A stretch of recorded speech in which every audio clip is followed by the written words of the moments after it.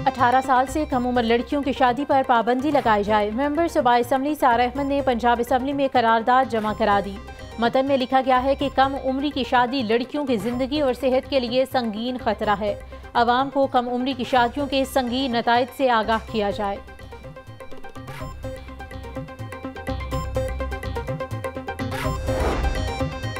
CTO Lahore महाराजर की जीर सदारत टीपा कॉपोरेशन टाउन प्लानिंग अफसरान की बैठक। टीपा अफसरान की सीटीओ लाहौर को ब्रीफिंग।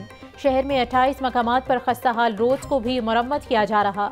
सीटीओ लाहौर की इकतीस मकाम पर फौरी आर्जी तजावजात हटाने की हिदायत। कहा, शहरियों को ट्रैफ़िक की वजह से कोई दुशारी नहीं होनी चाहिए।